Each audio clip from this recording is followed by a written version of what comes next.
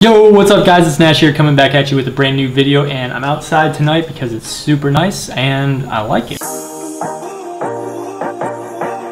Today we're talking about the Shopify startup cost. How much money do you actually need to get started? And you might be surprised because it's not really that much. All right guys, so before we get started, if you haven't already, go ahead and hit that nice looking subscribe button right below. Also hit the notification bell so you can be notified whenever I drop the dopest content on the internet because it's all free and we're trying to get everybody on this channel to over $100 a day for free. So, you know, why would you not subscribe? Without any further ado, let's go ahead and jump into my computer and, uh, you know, check it out. All right, so today we're talking about the Shopify startup cost. How much does it actually cost to, you know, start up? And the reason that I love Shopify so much and uh, the drop shipping sort of business model so much is because it doesn't really take that much startup capital because you know you're not keeping any inventory you're not paying employees at least at the beginning. Really your only uh, you know budget or the only amount of money that you need is just for ads and you know a couple other things that we're going to talk about right now which number one is the shopify uh, 14 day free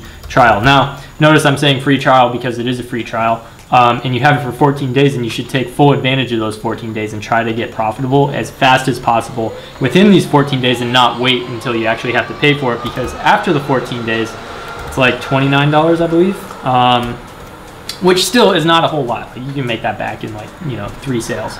Pretty easy. You can make that back in half a day. No problem.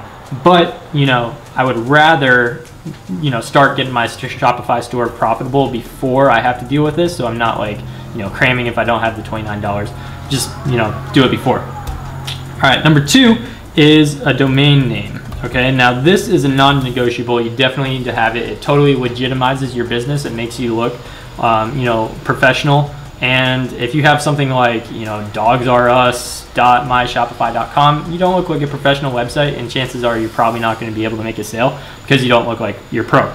But luckily, they're not that expensive. It's only like 12 to 15 dollars, um, usually around 12, just depending on where you get it. Uh, but yeah, so definitely get a domain name. Number three, this one's not necessarily mandatory, um, but it's apps. So most of the apps that I use are actually free, and the ones that I use that are paid, I only spend maybe like 25 to 30 bucks a month in apps. Um, and most of those are for like upsell apps that you don't really need when you're first starting out. Um, but most of the, the apps that I do use that are paid, they had a free trial. So I was able to you know, take advantage of the free trial before I actually had to pay for it. But in terms of apps, you're probably, let's just be really conservative. You could do it for free, but let's just say that you're gonna spend $10 in apps per month, which is you know not a whole lot. All right. And lastly, you're going to need, uh, this is the biggest part of it, you're going to need some sort of marketing budget, um, something that you can pay to, you know, get your ads out there. Unless you're super creative and you find some way, you know, free way to do it, you're going to have some, you're going to have to have some money to actually go market.